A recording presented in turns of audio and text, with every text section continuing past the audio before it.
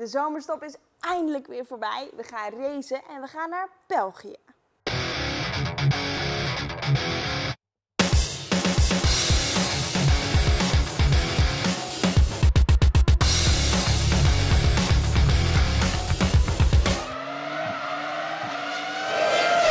Zo, we gaan eindelijk weer lekker racen. De zomerstop duurde wel een beetje lang. Vond je ook niet? Ja, maar we gaan gewoon weer door waar we gebleven waren. Ook al zijn er wel een paar dingetjes veranderd.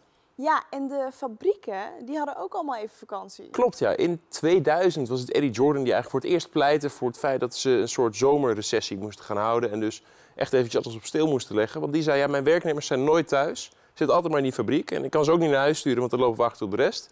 Dus als we daar één regel voor maken, dat was toen een beetje gek nog. Ja, Maar nu sinds een paar jaar is dat inderdaad eh, een nieuwe regel. iedereen is gewoon lekker uitgerust.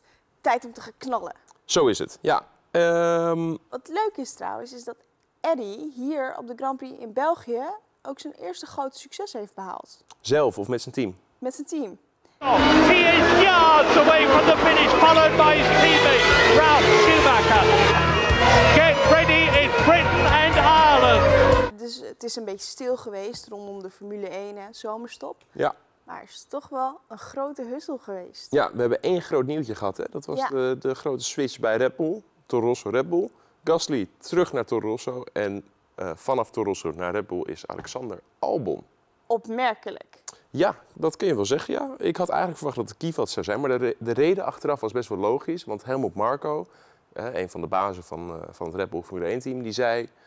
eh, we willen gewoon al onze rijders een keer in die Red Bull-auto hebben gehad... om ze daarna gelijk te kunnen beoordelen. Dat iedereen een, een gelijke kans heeft gehad. Eh, en nou heeft Gasly de kans gehad. Kvyat heeft natuurlijk al zijn kans gehad in het verleden. Ja. En nu denken ze, hebben alleen Albon nog. Nou, die ook eventjes een paar maanden proberen. En dan gaan ze aan het eind van dit jaar gewoon alles op een rijtje zetten. En dan beslissen wie dat tweede stoeltje krijgt. Ik wil niet cynisch zijn, maar is Albon nou echt beter dan Gasly? Nou, intrinsiek denk ik het niet. Maar eh, we, moeten wel, we kunnen wel concluderen dat Gasly echt wel een, een, een neerwaartse spiraal of een negatieve spiraal heeft gehad de afgelopen paar maanden. Eigenlijk al vanaf de eerste test. Hè. Dat crashte hij twee keer in twee dagen. En eh, kijk, dat is natuurlijk niet de manier hoe je wil beginnen. En dan loop je altijd achter de feiten aan door zo'n seizoen. En dan word je ook nog eens door Max helemaal verpletterd. Er zit alles een beetje tegen en dan, kom je, dan is het heel moeilijk om daaruit te komen. En in die zin is dit denk ik het beste wat hem kan overkomen bijna. Want hij kan nu met een schone lei, met minder druk bij Toro Rosso weer zichzelf opbouwen. En eh, ik kan je wel vertellen dat Albon het heel moeilijk gaat krijgen. Want ja, eh, ook die moet het wel tegen Max opnemen. Die zit weliswaar in een betere flow, maar die gaat Max niet verslaan. Alleen als hij het goed doet, kan hij een beetje met Max meekomen. En nou ja, goed. Goed, oké, helder. Verder nog dingen wat we moeten bespreken? Zeker, maar dat is voor de circuitanatomie. Wat een bruggetje, man. Lekker zeg. Spa-Francorchamps, een geweldig circuit. En het leuke is dat wij met Dumpers filmpje Werkplek met Stijn zijn meegelopen op dit circuit. Ja, En dat komt ook, één deze weken komt het uit. En dan eh, volgen wij het hele proces op dit fantastische circuit. Ja, ik ben er wel een beetje fan van. Het is een leuk, leuk nieuwtje, dus dat komt allemaal nog. Ehm, maar jij kan veel meer over het circuit vertellen, want je hebt er heel vaak gereden. ja. Klopt, leuk bruggetje. Goed gedaan. Dankjewel. We beginnen het rondje op het rechte stuk natuurlijk gewoon. Eh, dat is eigenlijk het, de tweede DRS-zone, omdat hij natuurlijk begint aan het eind van het rondje, uit de laatste bocht. Maar goed, daar beginnen we mee. Dan kom je op de eerste bocht af, La Source. Hele krappe herpin, ik denk tweede versnelling. Ehm, met een klein compressiezonnetje ook al eigenlijk bij de apex. Eh, dus dat is grappig, die zul je veel auto's wel zien proberen te pakken. Ehm, daarna, daar is tractie belangrijk, want daarna ga je hard naar beneden. En dan Eau Rouge, Radion, hoe je het ook wil noemen. Eh, natuurlijk makkelijk vol gas zolang het droog is. Misschien zelfs wel in de regen.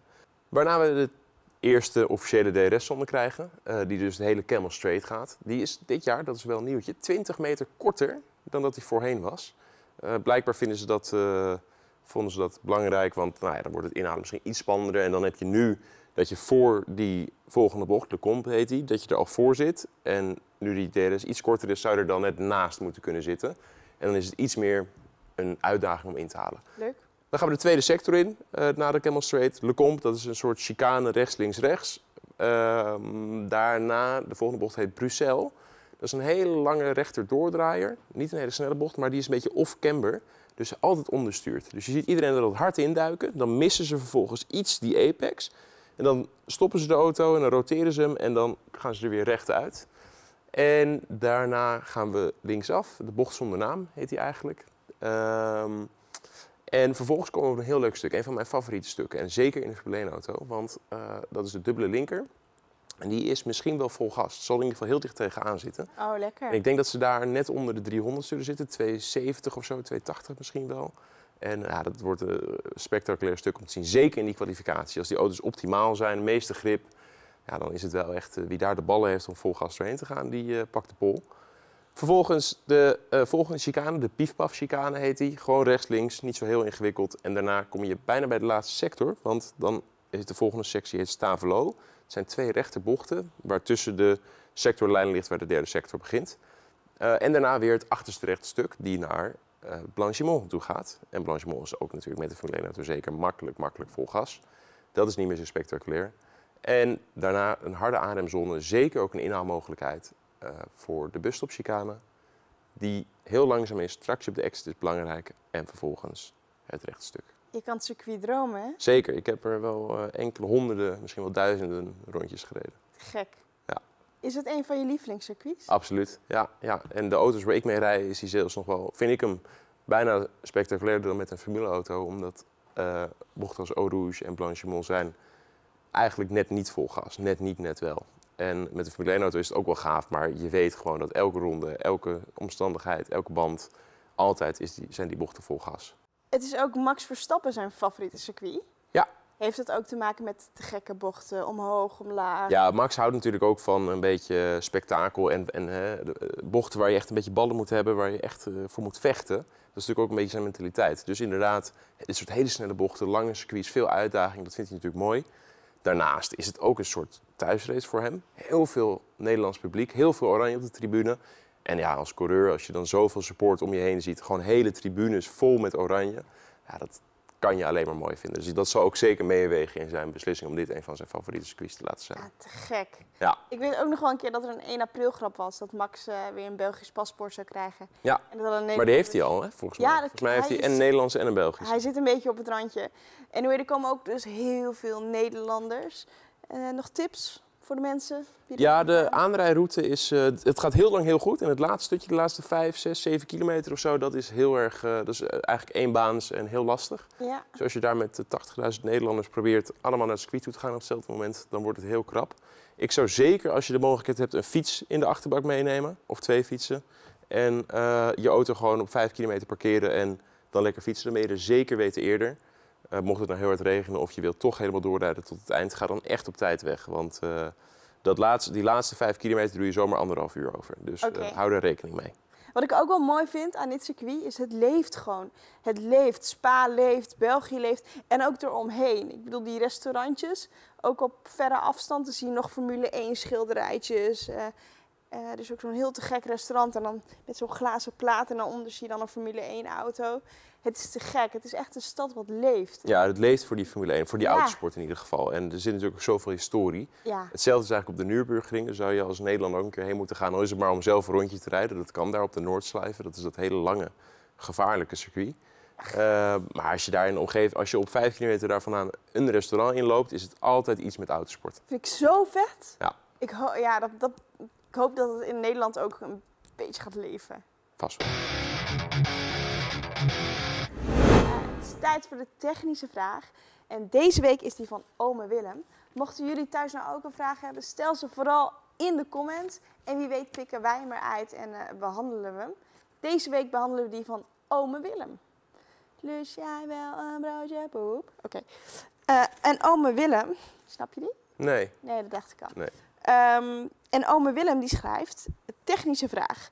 Wat maakt het dat de RB15 sneller is dan de Toro Rosso? Ze hebben dezelfde motor en kennen de specs van de auto ook. Zijn er geheimen in de ontwerpen van de auto's of zijn de blueprints vrij voor andere teams? Ze moeten natuurlijk gecontroleerd worden. Ja, dat is een leuke vraag. De motoren zijn in principe hetzelfde, nou, dat klopt. Dus daar zit niet zozeer het verschil in.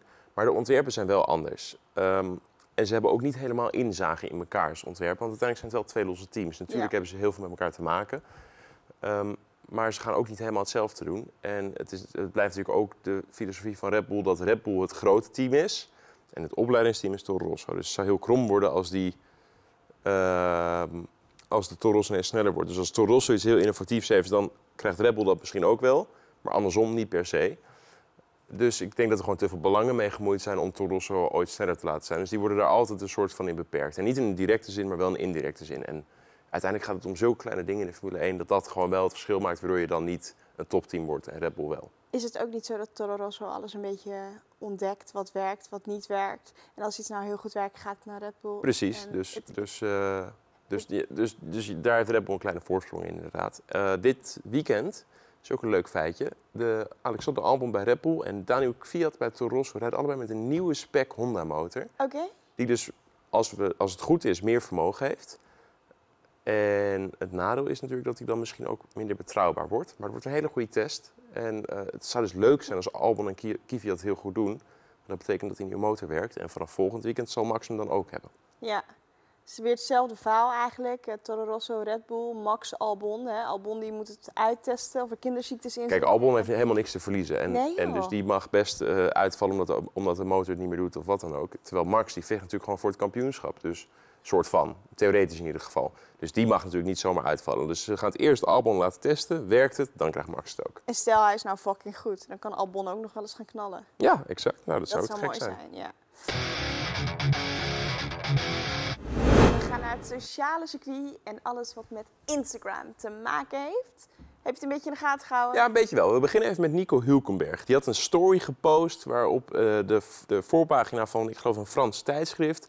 die hadden voorspeld dat Ocon zijn stoeltje zou gaan overnemen. Nou, dat heeft eh, Nico dus gescreenshot en op zijn Instagram story gezet... eh, waarbij hij dan zegt, nou, dit gaat een spannende donderdag worden in Spa. Dan hebben we Max, die met zijn vriendinnetje Dilara lekker op vakantie was. Hij was eh, in Amerika. Volgens mij heeft hij een hele tour gedaan door, door het land, door alle staten. En van de Niagara Falls tot de Grand Canyon tot Las Vegas. En hij heeft ook wat foto's gepost. En nou ja, Vind ik wel bijzonder, want dat deed hij niet zo vaak. nee, volgens mij zijn dit zijn eerste foto's met zijn vriendinnetje samen. Dus eh, Schat, ja, is leuk. Mis- vakantie is goed misschien- bevallen. blijkbaar, of misschien dat zij gewoon zei, Max, als we nou serieus gaan worden, dan eh, mag de wereld het ook best weten. Oh, dat is een Insta-aandachtsmevrouw. Nee, helemaal niet. Is voor die likes. Nee, dat niet. Dat zeker niet. Maar nee, ik denk dat Max gewoon heel erg verliefd op er is. En, het, eh, en zij waarschijnlijk ook. En dat ze het leuk vinden om dat te delen met de wereld. Dat mag ook best. Knappe meid hoor. Heel mooi meisje. En een leuk meisje. Je kent haar toch?